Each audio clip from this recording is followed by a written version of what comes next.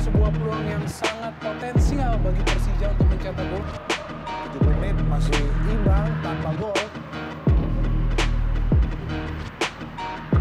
Ini sebuah hasil yang tidak menggembirakan Bu.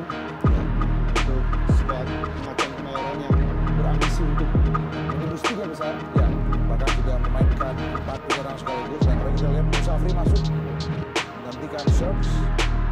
Ada refresh striker di situ. Luar biasa. Rocky Jasper.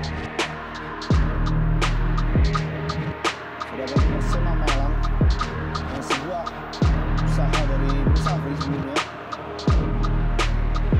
untuk Persema Malang dari lima pertandingan terakhir Liga Indonesia mencatatkan dua kali kemenangan dan tiga kali kekalahan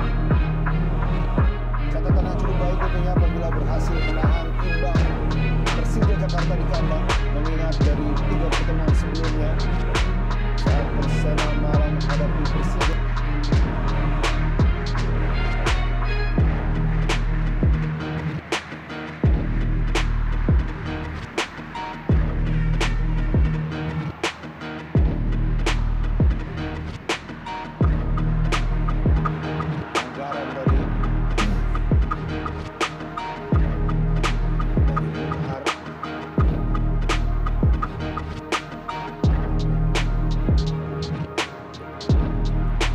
23 menit diberikan oleh wasit pribadi dan cepat sekali bangun Pamungkas.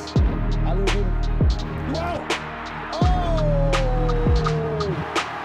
Musafri berhasil membuat keunggulan untuk Persija Jakarta Ditambahan waktu tiga menit.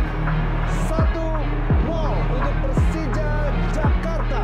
Ya meskipun terlambat namun kita melihat akhirnya Persija bisa menekan keunggulan mengenai Musafri yang tidak terkawal sama sekali oleh gelombang persen malah kita melihat bagaimana seorang Ali yang begitu tepat mengarah kepada seorang Musafri yang melakukan pergerakan dari belakang ya. sehingga memang kita melihat